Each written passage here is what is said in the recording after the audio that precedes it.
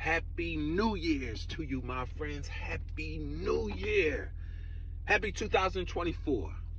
Here's the thing the best place to be in 2024 on the first day of this new year of 2024 is alive. Thank God for life and life more abundantly, right? The best place to be is alive. And the best thing to be doing in 2024 is trusting God with all your heart, all your mind, and all your soul. Trusting God with all your heart, leaning not into your own understanding. And in all your ways, acknowledge Him so that he can direct your path. What does that look like? What does that what does that resemble in real life? How how is that made practical? This is how. Get comfortable with committing to riding shotgun in your life.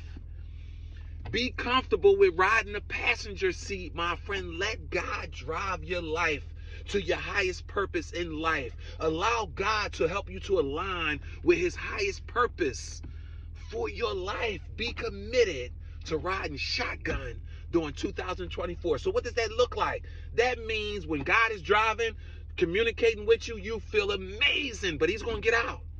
He's going to test you. He's going to leave the keys dangling in the in the in this car. He's going to leave your best music playing, and he's going to put a destination in your mind that's off, that's out of alignment where he with, with where he was driving you, is he going to test you to see if you're going to take that wheel and get out of alignment with, with God's plan for your life and drive to the destination that's going to please your flesh and it's not in alignment with God's plan for your life.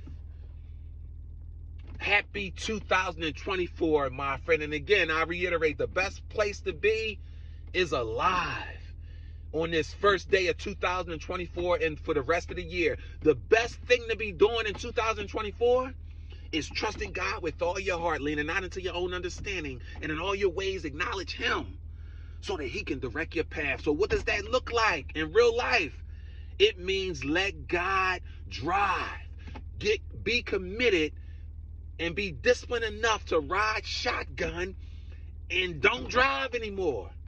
God's going to test you. He's going to leave the keys in the car.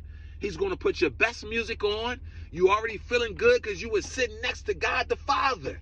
And then he's going to put a destination in your mind that's not in alignment, that's not consistent where, where he was driving you, and he going to sit and watch.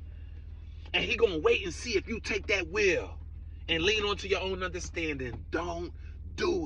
Resist the devil. Don't give any place to the devil and you're going to win 2024. Happy New Year. Happy 2024. Happy life. Be great.